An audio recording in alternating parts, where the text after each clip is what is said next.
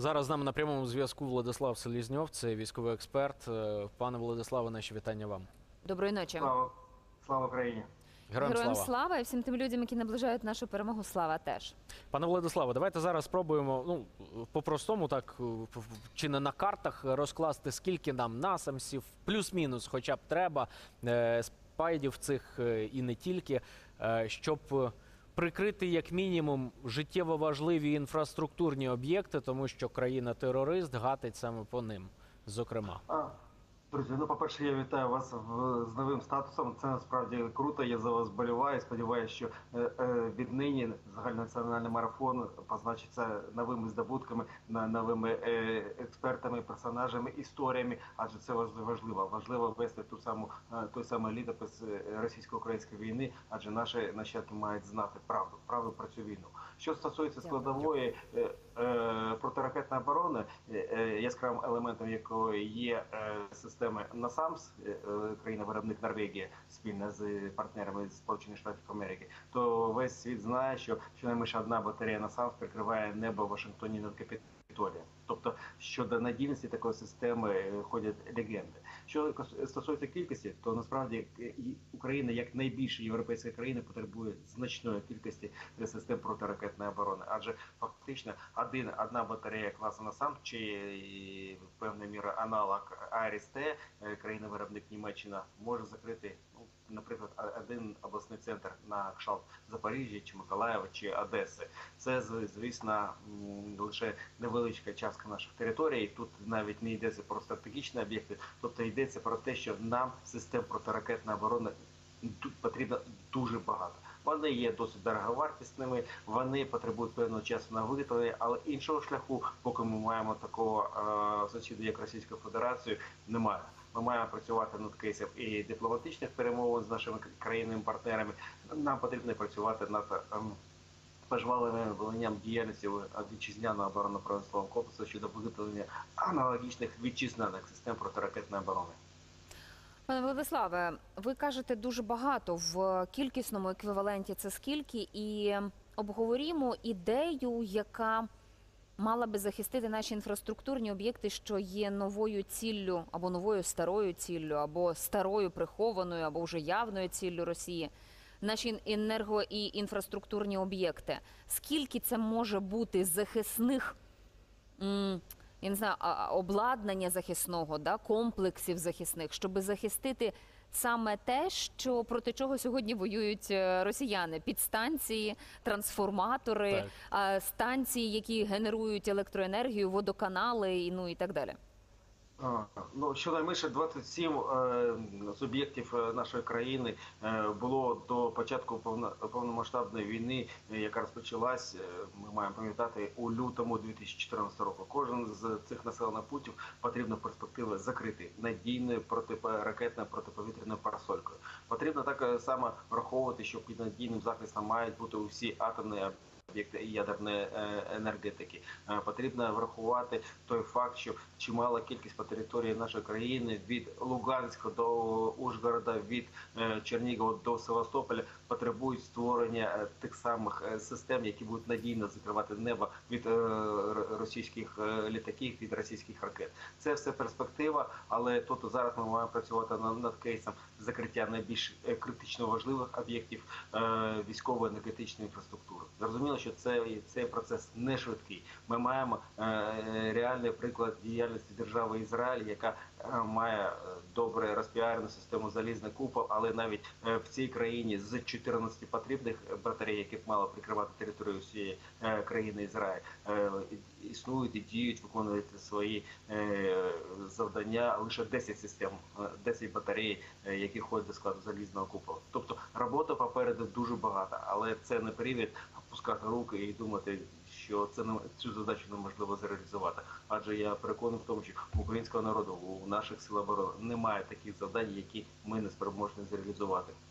От про інфраструктуру е, на Херсонщині особливо цікавить. З чим пов'язані дії, зокрема у Береславському районі, на вашу думку, так дії окупантів по знищенню е, лінії електропередач, е, мереж е, мобільного зв'язку і абсолютно всього, що відповідає да, за, за постачання от будь-чого, починаючи від електроенергії, закінчуючи водою, опаленням у Херсоні безпосередньо і у прилеглих так населених пунктах. Для чого окупанти роблять, на вашу думку, це зараз, зважаючи на їхні заяви, нібито про відхід, там про підготовку до здачі Херсону і так далі, і тому подібне. Е, Друзі, ну абсолютно очевидно, що росіяни е, в такий спосіб переслідують дві мети. Перша е, створити неприйнятні умови для життя, навіть не життя, а існування на тих територіях, які нині знаходяться під тимчасовою російською окупацією для звичайних мешканців е, цього регіону нашої країни. Тобто, щоб е, фактично примусово висіляти з на лівий берег наших українців, а по факту створювати умови для депортації на мешканців нашої країни в райони Зауралля, Сибиру, як е, про те свого часу мріяв очільник е, Міноборони Росії пан Шойгу.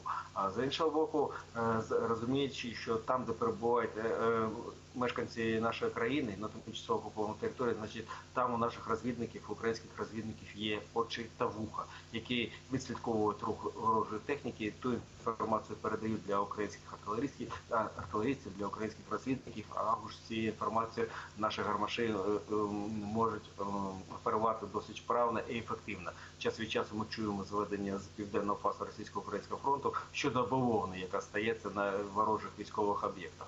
Саме для того, щоб мінімізувати е, такі ризики, росіяни намагаються вщент зачистити цю територію для того, щоб далі тримати оборону а, проти українських сил оборони, які проводять контрнаступальні заходи. Адже очевидно, що 32 тисячного групування російських військ не збирається покидати правий берег Дніпра. Вони продовжують вести активні оборонні дії, і для того вони створюють усі передумови, в тому числі і е, знищуючи всі можливості для комунікації між мешканцями тимчасово окупованих районів на правому березі Дніпра та українськими силами оборони. Пане Владиславе, 500 мобілізованих російських, 30 кадирівців, і це тільки наймасовіші знищення їхньої живої сили, яка прийшла нас перемагати, але вже нікого не перемогла е, ну, зі зрозумілих причин. Скільки ще у них людей вистачить на оці людські хвилі або м'ясні хвилі, якщо можна так казати? Невже не зрозуміло досі, що тактика минулого і позаминулого століття закидати людськими хвилями лінії фронту не працює?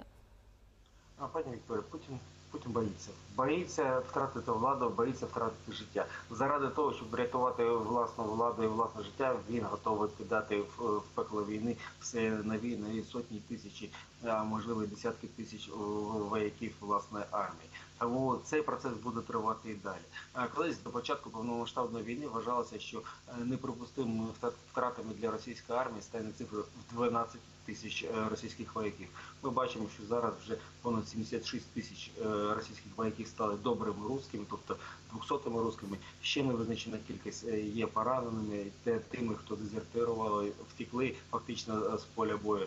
Тобто йдеться про величезну кількість російських вояків, які е, в перспективі не будуть братися до зброї і воювати в рамках так званої спеціальної військової операції. Але мобілізація навіть зараз вона проводиться в прихованому форматі на території Російської Федерації. Триває цей факт беззаперечний. Ми бачимо, що все нові і нові хвилі так званих чмобіків, тобто громадян Російської Федерації, які призвані в рамках часткової мобілізації чи прихованої мобілізації, йдуть на фронт. Вони несуть колосальні шалені втрати. Ми чули е, е, виступ президента. Е, Верховний головнокомандувач Збройними силами України чітко розуміється на тих на тій ситуації, яка відбувається, наприклад, зараз на східному фазі російсько-українського фронту. Але розуміння того не звільняє наші сили оборони від ключового завдання. Повномірної повномірного знищення ворога, адже очевидно, що е, ключове завдання цій війни знищити військову місць Російської Федерації. Іншого шляху немає. Но питання щодо звільнення е, е, наших територій воно є похідним. Лише після того, як буде знищена російська армія на території нашої країни, ми зможемо впевнено рушити вперед і зреалізувати той самий план, про який часто згадує очільник української розвідки генерал Буданов стосовно того, що на кінець травня наступного року ми маємо бути в Криму. Пане Владиславе, які напрямки е, Росія буде по максимуму насичувати цими мобіками? Де у них найбільші прогалини?